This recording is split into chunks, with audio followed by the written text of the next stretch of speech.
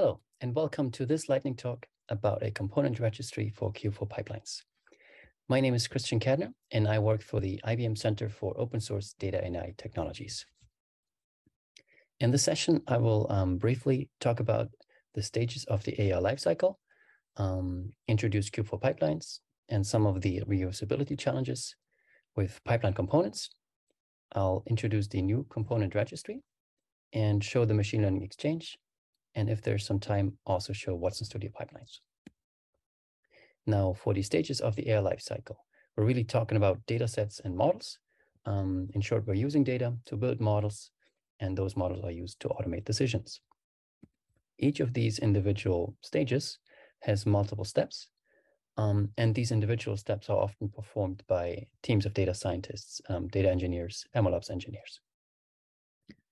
Um, and so that is part of the challenge which all of these, with all of these steps, um, the process um, often remains bifurcated amongst various teams. Um, there's lots of duplication and redundancy.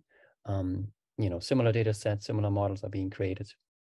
And there are numerous challenges for traceability, governance, um, and risk management. Um, so what's needed really beyond the pipeline engine is a central catalog where data scientists can share their AI and ML assets across organizational boundaries. And ideally, those ready-made data sets and models, you know, they come with quality checks, proper licensing, um, lineage tracking, all to increase the speed and the efficiency of the AI lifecycle. Now, I mentioned Kubeflow pipelines. Um, what are Kubeflow pipelines? The purpose of Kubeflow pipelines is um, to enable and simplify um, the end-to-end -end, um, orchestration of machine learning workflows. Um, pipelines makes it easy to um, quickly try out ideas and techniques you know, to manage trial runs and experiments. And um, the individual pipelines and components um, are fairly easy to reuse.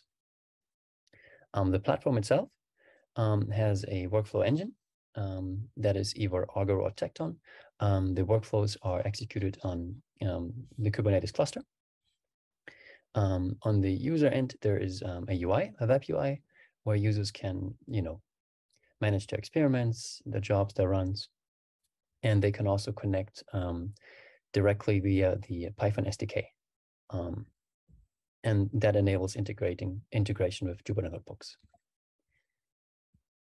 Um, the individual steps of a pipeline um, are called components, and components are self-contained sets of code. Um, they perform one step in the pipeline, such as data processing and transformation or model training, and they're kind of like a function um, with name, parameters, return values, and a function body. Um, components are containerized and they run in Kubernetes pods. The component spec itself um, is a YAML file, and that can be offered directly or it can be compiled from a Python DSL.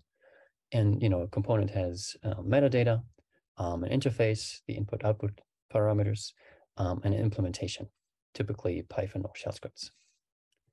Um, Kubeflow pipelines has been around for quite a while. And there are numerous components that have been contributed over the time by for various platforms, um, by various vendors, um, and for all the individual steps of um, a machine learning workflow.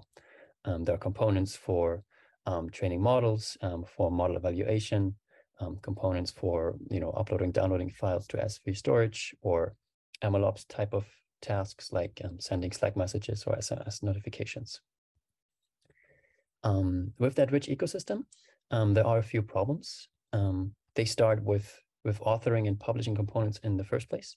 There are multiple ways to publish or to create components. They can be authored via Python. The YAML can be um, specified directly. And in um, V2 of Kubeflow pipelines, there's also the intermediate representation. Um, between those multiple ways, there's no feature parity um, and no consistent way to um, publish and document um, those components. Hosting um, is currently GitHub. All the components there are they're part of the GitHub repository for Kubeflow pipelines, and there's no good indexing or searching. Components are not well versioned, and there's not many ways to categorize components. Maintenance is another issue. oftentimes, components once they contributed, they're not well maintained for a long time. Now, this new component registry um, as proposed by the Kubeflow Pipelines team, uh, aims to address some of those problems. Um, there are really um, two parts to it. There's the API that is being implemented, uh, you know, on the client side by the Kubeflow Pipelines SDK, and then there's the server side that can be implemented by third-party registries. Um, you can follow up on on the um, uh, design doc um, if you go to uh, Kubeflow Pipelines issue 7382 um, and find out more information about it. But um, in short, benefits will be that the YAML format will be um, unified between pipelines and components. Components or pipelines can be versioned and tagged, and there will be a direct integration in the Kubeflow Pipelines SDK, so users can seamlessly download um, components from a third-party registry just by connecting to a host, searching for components, finding the versions, and then downloading components. Um, this slide is with some terminology, um, templates, um, versions, packages, tags, host. Uh, most of them are uh, straightforward. Um, here are a few samples of what the REST API um, could look like to interact with a registry, um, or what the um, Kubeflow Pipelines SDK methods, the newly introduced methods, could look like. So the REST API shows how to upload a component in the first snippet. The second snippet is to um, download the Hello World component um, with version v1. And at the bottom left, you can see um, how it could look um, from the Kubeflow Pipelines SDK to load a component from a registry um, or to directly um, create a run from a component. now, what might a component registry look like? Um, for example, the machine learning exchange. Um, we're working on um, implementing that new Kubeflow pipelines um, registry protocol. Um, the machine learning exchange is a project between IBM and the Linux Foundation for AI and Data. And here you can see the UI. Um, we have various asset types of assets. We have um, pipelines. you can search pipelines and, and see details. Um, you can see the um, YAML specification. Here, this is still a v, V1 YAML for Kubeflow pipelines on Tekton. Um, and you can even launch the pipeline directly from the MLX UI. After you specify the parameters here, um, many of them have defaults. Click Submit, and you will see the Kubeflow pipelines um, run graph um, with all the individual pipeline steps. And for each step, you can you know look at the input-output parameters, um, metadata, um, logs, everything that's available on the Kubeflow Pipelines UI. And we have a very similar experience for components, for models, data sets, and notebooks. And even notebooks can be run um, as part of pipelines. Oh, this is a list of the assets we currently have in the MLX catalog. Um, you can find MLX um, on ml-exchange.org. Um, and we're co constantly working on adding new um, new models and data sets, um, but this is what we currently have. Um, you should also check out Watson Studio Pipelines, currently in open beta.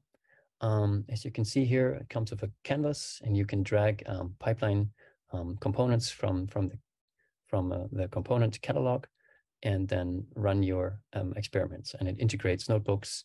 you can run your AutoAI experiments, and it makes you know scheduling jobs very easy. Before I leave off, um, this is a list of links and references. Um, Kubeflow Pipelines issue 7382 um, has links to the um, design spec for the template registry API and SDK machine learning exchange. You can find us at ml-exchange.org um, or on our GitHub repo and on Slack. Oh, before I leave off, um, stop by the Code Cafe or the IBM booth, um, we have a book signing by Emily Yan, and you can take the Open Liberty um, Space Rover for a spin. With that, thank you and see you next time.